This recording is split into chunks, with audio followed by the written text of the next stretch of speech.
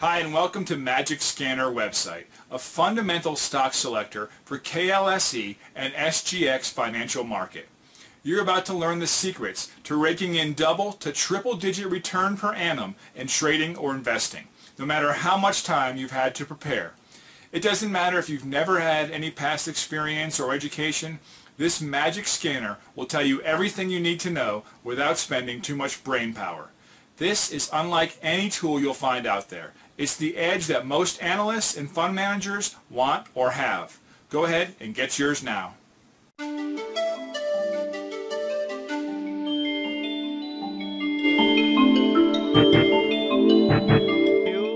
welcome to our Friday chart clinic uh, uh, for 23rd of August 2013. Uh, those of you who know, uh, this whole week we have seen lots of red, sea of red. Uh, if you don't know what I mean, uh, yesterday was all sea of red when you look at the chart. Today things has changed much better. We have a lot of green here but definitely yesterday and on Wednesday we have a sea already that has changed but I'll definitely have more of the KLSE update as well as the regional update this evening at 5.15 now remember the closing bell this evening we are starting at 5.15 rather than the usual 4.15 because I have a prior appointment to that. So take note, 5.15 we are going live and those of you who are premium members can catch us so and those of you who are like member can catch a snippet on Saturday. Okay. I uh, can't complain if you're not on the wrong side. Yeah, yeah, that's right. Okay, uh, we, we're going to uh, start with today's Friday chart clinic. A very, uh, uh, in the note of things, uh, just want to uh, three three things in here. The first one, before we get to Bill's goal and uh, our US correspondent update, just want to tell you we'll be doing our uh, so-called Master the Market Preview Talk, uh, our webinar on the uh, 28th next Wednesday, 8:30 uh, over the internet access. We'll be doing our Master the Market preview talk. For those of you who heard a lot about our VSA main course, but you want to know more about it and how it will benefit you, so come and attend our Master the Market preview talk, which will be happening uh, next Wednesday on August uh, 28, 8.30 to 9.30. And our Master main course is one of our best-selling course, and we, myself and Bill, we do do it only twice a year. So uh, take notice and uh, use this uh, opportunity to uh, re-attend back. There are some of you who did send me an email and did ask me how you can re-attend back because you attended it sometime like four or five years ago. So you can do so. Uh, remember our main course is happening on the 9th of uh, to 11th of November 2013. Okay, uh, next thing is uh, if you done the, so remember if you want to register for this, just send me an email. If you're a like subscriber, you would have gotten the Master the Market preview talk uh, from the 9 to 11 of November 2013. Okay, uh, next thing I want to talk, it's a very interesting book by Daniel Kahneman. It is the Economics Nobel Prize winner back in 2002 by a psychologist. Interesting enough, this is the first time that uh, Nobel Prize winner comes from a psychologist and not economics. Uh, well, this book is about thinking fast and slow. Some of you may have seen this book before at the Kinokuniya or MPH bookstore. But before I go into the uh, a bit a snapshot of what I'm going to give you a special bonus at the end.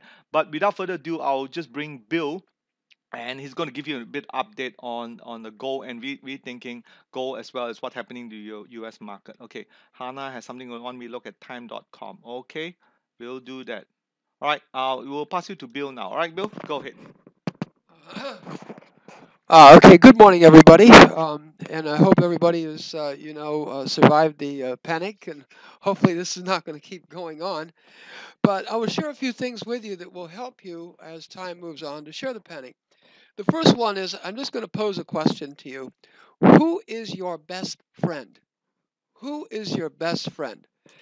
Now, someone would say, "Oh, that's my uh, my brother, that's my wife, uh, you know, my dog." It could be a lot of different things. But I will share this with you in the practical reality of life and the obligations of life. Your best friend is the money that you have in the bank your assets, your liquid assets, because they will not let you down. Um, whenever you take that uh, ringgit note and you go in and, and you go into the shop, they will say, Yes, sir. whatever you want, if that money will cover it, that is yours. There's no argument. I mean, but I'm saying this is just uh, from a practical point of view. Now, why am I mentioning this? Because um, there's an incredible article in today's uh, the Edge Financial Daily. That's a Friday edition. It came out, and it's called the Warren Buffett's Bubble Cash Out Strategy. It's a great thing. Uh, it's worth the 150 that you pay for this uh, newspaper to, just for this article. Now, in the article, it talks about uh, the pension fund that Warren Buffett was managing since 1975. Uh, for the Washington Post newspaper, of whom he's one of the major shareholders. I think he owned the company.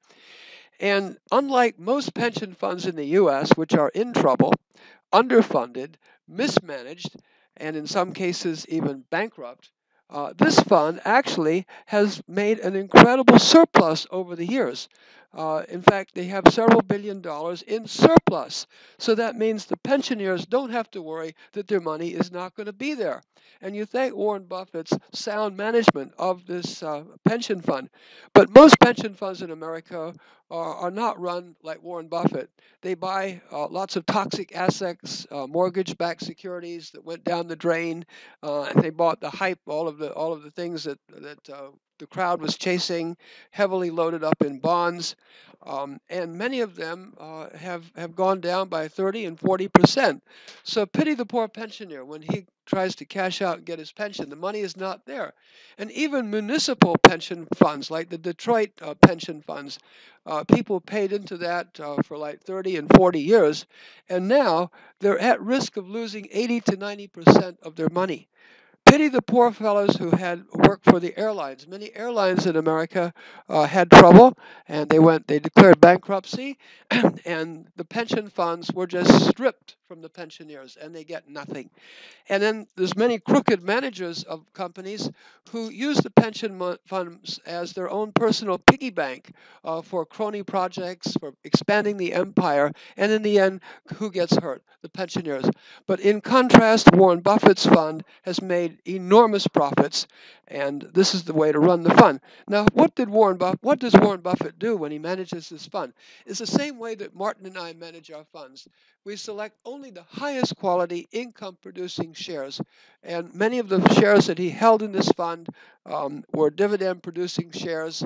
Uh, Altria was one, J&J was another, uh, Procter & Gamble was another. Household names that consistently make good sales and earnings. And remember, since 1975, there have been several major crashes in the U.S. market, several disasters, quite a number of panics. However, this fund has stood the test of time and made good returns for their shareholders. Now, what I'm going to do this weekend, if you if you get my uh, weekly newsletter, I'm going to put down a link uh, that you can click and you can get the Warren Buffett, Katharine Graham letter that was written that talks about the way he manages this pension fund. I'll put that on my newsletter this week so that you can see how he does it and how powerful is this strategy.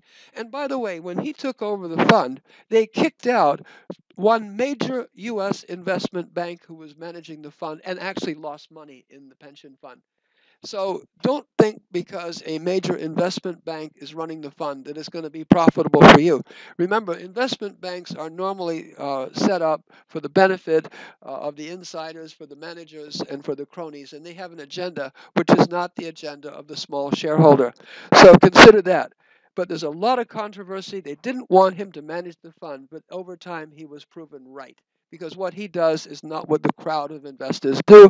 It's not something that profits the stockbrokers because he doesn't give lots of turnover. So, in that sense, I will send this out for you, and I hope uh, it can benefit you. And I would say that I personally uh, have printed out a copy and, and I'm reading it because hopefully can learn something as to how Warren Buffett manages funds. So now let's go on to some other issues um, that is happening. Um, one of the one of the things that Martin and I focus on, we don't like shares that have high levels of debt and don't pay dividends or small dividends. And one of them is Air Asia, and they just came out with with an earnings announcement, and and they they went down. But even worse, they're loaded up with a lot of debt. And when interest rates go up, guess what? That squeezes their margins. So this is why we don't like companies with lots of debt. Um, and under the current environment in the stock market, uh, there's a lot of companies that are like that. So it's something that we need to filter out. So having said that, um, I do wish you well in the coming week. Don't get caught up in the panic. I know some very prominent fund managers in town who are buying on this break, who are buying, who are accumulating quality shares. So don't don't lose uh, your courage or your whatever. Uh, nothing really has changed much. This is a manipulation by large hedge funds to try to break the market. They're attacking Indonesia. They're attacking India. Um, however, Malaysia, I think, will withstand this attack, and they have so far. In fact, one thing I read in the Edge yesterday was that they are not intervening in the currency markets. That is Malaysia. India is, Indonesia is, Malaysia is not. Singapore is not. China is not. These are the strong countries that will withstand this hedge fund assault. Um, and, and I think uh, in, in the end, uh, uh, these countries, Singapore, Malaysia, China, and so on, will win this battle. So have a good week ahead. Martin? All right, thanks a lot, Bill. Okay, uh, that's right. Thank, thanks a lot, Bill. Okay, now going on to our next uh, slide topic is more of an education, just to share with you before we go into the stock analysis. It's one of the books I've uh, uh, bought and read. It's by uh, Daniel Kaufman. And to save you time, why I want to show you this is to really tell you there's actually a video, uh, about a 50 minute long video. You can watch this and uh, where he talks about his book and uh, how people should think fast and think slow. How many how many of you has heard of this uh, gentleman Daniel uh, Kahneman? And he is supposed to be the so-called king of behavioral science. And if you are into investing and trading, you will probably heard of him because he talks a lot about emotion. How many of you heard of him before? This person named Daniel Kahneman, a very famous uh, uh, uh, psychologist, economist in this area. A Nobel Prize winner. No. All right. Now, yeah, that's right. It's very important that you know his work because this is something I just want to share with you. Good. Okay. And uh, why his works is very important. And along the way, when I was uh, part of my training to become a fund manager and a trader, I read a lot of his books, and it helped me a lot on my uh, on my uh, part to be a good fund manager. Now, what is the key thing and the great takeaway we have from this is it is also the author best-selling books of Thinking Fast and Thinking Rich. This book, rather than buying the book to read, I will give you the link to the YouTube. I will send you this YouTube. You can watch it. It's about 15 minutes long, save you the time, and it tells you everything you need to know about the essence of the book. Would you like that? Yes or no? Okay. Okay. Would you like to listen to this guy talk? Great, great. I'm just going to send to all of you. So uh, what can you do is watch this uh, YouTube video. You can't Google it because it is a private link. So even if you go to YouTube and type it, you won't get the full version of it. I just want to show you uh, this video here. It's a full length version of the uh, Daniel Kaufman video, about 50 minutes long. And the key takeaway I want to share with you in this talk is about two modes of thinking. Now, all of us have our way of thinking but it, he sums it all and based on his 20 years of research, he